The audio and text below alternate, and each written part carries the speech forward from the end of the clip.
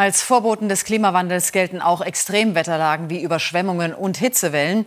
So leiden China und weite Teile Europas aktuell unter Rekordwerten. Auch hierzulande werden morgen tropische Temperaturen bis zu 40 Grad erwartet, bevor sich die Gluthitze am Mittwoch schon wieder Richtung Nordosten verzieht. Vorsicht heißt es also für ältere und kranke Menschen, aber auch für die Kleinen. Direkte Sonneneinstrahlung sollte auf jeden Fall gemieden werden. Eine grüne Architektur ist eine Antwort auf den Klimawandel und Hitzewellen. Die Pflanzen senken die Temperatur um ein paar Grad. Doch ein grünes Gebäude wie hier in Stuttgart lässt sich nicht auf die Schnelle bauen und ist eher eine Seltenheit. Das heißt, die Hitzewelle wird viele hart treffen. Am schlimmsten erwarten wir am Dienstag die Region Saar, Mosel mit Temperaturen bis zu 40 Grad, eben auch in Köln oder Duisburg, Niederrhein, Ruhrgebiet. Das sind so die Hotspots, wo wahrscheinlich die Höchsttemperaturen auftreten werden. Dass Hitzewellen ein Dauerthema werden, war klar. Dennoch ist Mannheim eine der wenigen Städte mit einem Aktionsplan. Bisher sind es Tipps im Internet, zum Beispiel älteren Nachbarn beim Einkauf helfen, tagsüber Fenster schließen, verdunkeln, Notfallnummern. Es geht zum Beispiel dazu, dass wir den Bürgern schon gesagt haben, Verhaltenstipps. Wo hat es zum Beispiel kühle Orte? Wo kann man sich aufhalten? Auf der Internetseite der Stadt sind sie zu finden, zum Beispiel klimatisierte Einkaufszentren oder Kirchen, die aufgrund der massiven Architektur ohnehin kühler sind, oder die klimatisierte Kunsthalle. Hier können die Bürger der Stadt der Hitze entfliehen und den Körper etwas abkühlen, doch nicht alle sind so mobil und können diese Tipps wahrnehmen. Deshalb werden sich wohl in den kommenden Tagen die Krankenhäuser füllen. Vor allem ältere Menschen sind von der Hitze bedroht, teilweise lebensgefährlich. Nebel und Regen, das sind die Stereotypen für britisches Wetter.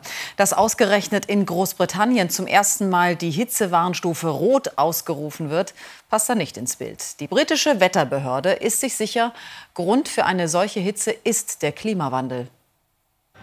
Es sind die heißesten Tage in der Geschichte Großbritanniens. Temperaturen von bis zu 40 Grad brechen Rekorde und quälen viele Briten. Die Gesundheitsbehörde hat den Hitzenotstand ausgerufen. Wir sprechen von Temperaturen, die wir hier noch nie erlebt haben und schon gar nicht tagelang. Unsere Körper, unsere Häuser und unsere ganze Kultur sind darauf nicht vorbereitet. Deshalb soll heute eigentlich zu Hause bleiben, wer kann. Nach Möglichkeit auf Reisen verzichten, besonders mit der Bahn. Viele Züge müssen deutlich langsamer fahren oder fallen ganz aus. Gleise könnten sich wegen der Hitze verbiegen. Auch die Fahrt mit der Londoner Tube. Bei über 30 Grad eine Tortur, die heute wohl nur auf sich nimmt, wer in einem klimatisierten Büro Zuflucht findet. Zu Hause kann ich nicht arbeiten, da lebe ich unter dem Dach. Das ist wie ein Ofen. Wir haben im Büro kalte Getränke und eine Klimaanlage. Das ist viel besser. Ich gehe nur ins Büro, um der Hitze zu entfliehen. Abkühlung ist erst ab Mittwoch in Sicht. Auch morgen soll es mit mehr als 30 Grad noch einmal extrem heiß werden. Für die Feuerwehrleute ist es der härteste Tag, für ganz Frankreich der heißeste seit Beginn der Wetteraufzeichnung. Im Süden brennen die Wälder, tausende Hektar Wald sind bereits vernichtet und ein Ende ist nicht in Sicht. Die verheerende Feuersbrunst hat jetzt auch die Strände von Arcachon am Atlantik erreicht und die Temperaturen steigen weiter unerbittlich.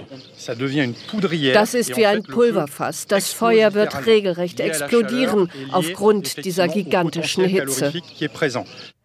Alarmstufe Rot gilt seit heute für die gesamte Atlantikküste und die Hitze breitet sich weiter nach Osten aus. Mehrere tausend Einwohner und Touristen mussten schon in Notunterkünfte gebracht werden. Freiwillige Rotkreuzhelfer kümmern sich um die obdachlosen Urlauber. Unterdessen kämpfen Feuerwehrleute aus ganz Frankreich Tag und Nacht gegen die gewaltigen Feuerwände. In der Diskussion über längere Laufzeiten für Atomkraftwerke hat die Bundesregierung auf einen zweiten Stresstest zur Sicherheit der Stromversorgung verwiesen. Für die Regierung sei die Frage der Atomkraftwerke von Anfang an keine ideologische, sondern eine rein fachliche Frage gewesen, so eine Sprecherin. Sowohl das Wirtschafts- als auch das Umweltministerium betonten aber, es gebe nach bisherigem Stand keine neue Lage. Die Energieversorgung bleibt also weiter ein großes Thema. Bettina Seidel in Frankfurt. Wie blickt man an der Börse auf die aktuellen Entwicklungen? Na, hier herrscht ja schon seit längerem große Skepsis, ob das Gas reichen wird. Im Falle eines Stopps der Gaslieferungen würde das nämlich wahrscheinlich voll auf die Wirtschaft durchschlagen, sie also schrumpfen lassen, in die Rezession drücken. Bei einem Gasstopp würden Unternehmen vieler Branchen leiden, Pharmabranche etwa oder die Textilindustrie, die Chemieindustrie. Die ist äh, auch gerade nicht zurückhaltend mit Preiserhöhungen. Viele Unternehmen könnten dadurch in Schieflage geraten und dadurch dann auch Millionen Arbeitsplätze vernichten. Die ersten Unternehmen sprechen ja jetzt schon von Stellenabbau. Das alles, diese Gemengelage hat dem Euro zugesetzt, den Aktien aber eben auch, also dem DAX zumindest in den letzten Wochen. Heute gab es aber kleine Zeichen der Erholung beim DAX, gut ein halbes Prozent plus auf 12.944 Punkte. Ein in die Enge getriebenes Unternehmen ist der Gashändler Uniper, von dem haben wir gehört die vergangenen Tage. Der geht jetzt äh, in die Reserven, schöpft einen letzten Milliardenkredit bei der Staatsbank KfW aus und zapft auch sogar seine Gasspeicher an. Danke, Bettina Seidel nach Frankfurt am Main. Ihn hier, Ivan Bakanov und den ukrainischen Präsidenten Zelensky verbindet eine lange Freundschaft. Als Zelensky 2019 Staatschef wurde, machte er seinen Jugendfreund zum Leiter des Geheimdienstes. Nun aber hat er den 47-Jährigen vom Amt suspendiert, ebenso wie die Generalstaatsanwältin Benediktova. Offiziell, weil mehr als 60 Mitarbeiter aus dem Sicherheitsapparat mit Russland kollaboriert haben. Es gibt allerdings auch Berichte, der fachfremde Bakanov habe in seinem Haus nur wenig Autorität genossen. In seiner täglichen Videobotschaft am Sonntagabend verkündete Präsident Zelensky unerwartet seine Entscheidung über zwei hochrangige Regierungsmitarbeiter. Ich habe entschieden, die Generalstaatsanwältin aus ihrem Amt zu entlassen und den Chef des Geheimdienstes der Ukraine zu entlassen.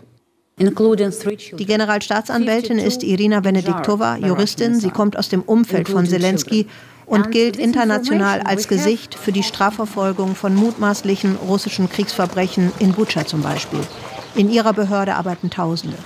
Sie wurde entlassen, weil zahlreiche Mitarbeiter der Generalstaatsanwaltschaft und anderen Behörden des Hochverrats verdächtigt werden. Sie sollen mit Russland kollaborieren. Der bisherige Chef des Geheimdienstes, Ivan Bakanov, ist vor allem als ein alter Kinderfreund von Zelensky bekannt und er war sein Wahlkampfleiter. Heute Morgen erklärte dann das Präsidialamt im ukrainischen Fernsehen, der Geheimdienstchef sei nur vorübergehend suspendiert und die Generalstaatsanwältin sei von ihrem Amt abgesetzt, aber nicht entlassen. Eine unklare Situation in Kiew.